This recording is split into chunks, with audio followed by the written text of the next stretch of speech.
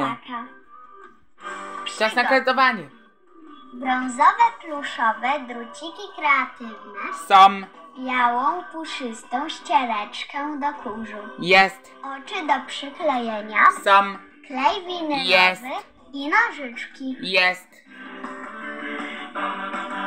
Drucik kreatywny włóż na pół. Zwiniętą ściereczkę włóż pomiędzy części drucika w taki sposób, żeby była po środku. Z podwójnego końca zrobisz pyszczek.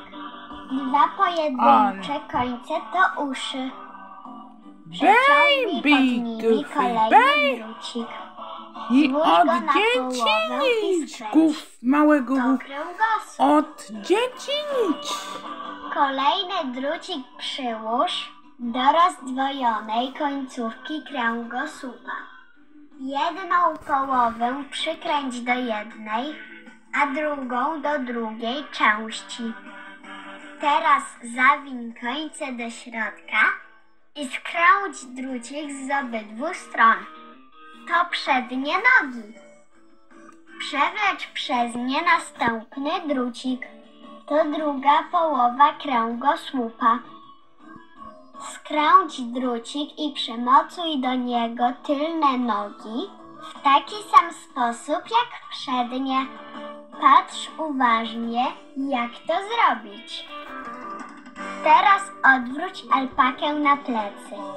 Zwiń ściereczkę i zwiąż ją mocno nogami alpaki.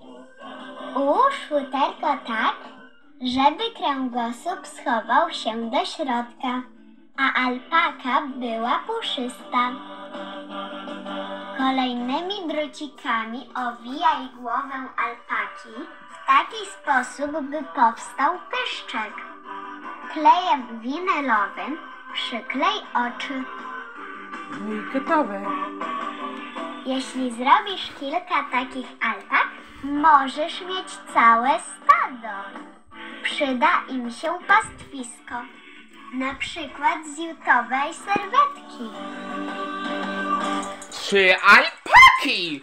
Co za szok!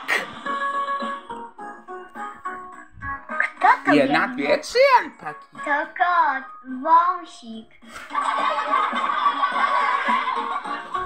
Wąsik i alpaki lubią się ze sobą bawić. Najczęściej w berka. A wy lubicie bawić się w